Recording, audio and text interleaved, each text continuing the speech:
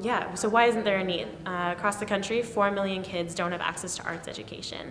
Um, the government has been doing a lot of um, budget cuts and they're trying to cancel out arts education out of the equation and that's the same thing as canceling out education altogether because in order for kids to have a holistic, um, comprehensive um, curriculum, they need arts as well as math and science and reading and writing. Do you want to make it into a ball again? So what Project Art does is we go directly to the source of the problem. What we're doing is we see a problem, we look it in the eye, we see the data, we anchor ourselves in it, we connect the dots, and we go to the public libraries and we just give free arts education.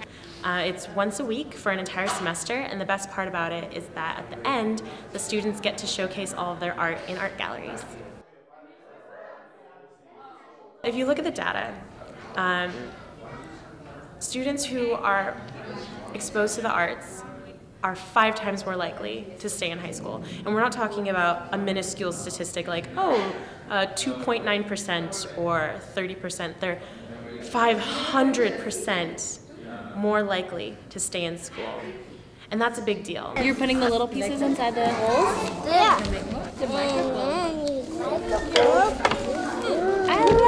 Idea. And if you look at any school, any pilot school that has arts integrated into the system, the students are more engaged with the art, therefore they're more engaged with their studies, therefore they average higher scores than any other schools. This is clay. Who's used clay before? Wow, a lot of you guys have used clay. And so when they first hear budget cuts, the first thing that they're going to cut out is something like arts and culture because they think it's fluffy, they think it's extra, they think it's an exhalation of spare time or spare resources, but the reality is, is they have it totally backwards. You ground yourself in arts and you're activating both sides of your brain and suddenly you are able to think of answers outside of the box. You are able to innovate. How did we come up with Facebook, Google, the, these iPhones? Innovation. And that starts with a paintbrush.